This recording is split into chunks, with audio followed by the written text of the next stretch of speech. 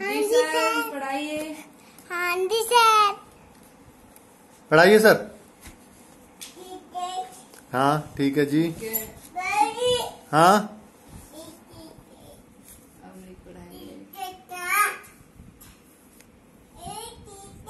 हाँ। हाँ, ये ठीक है।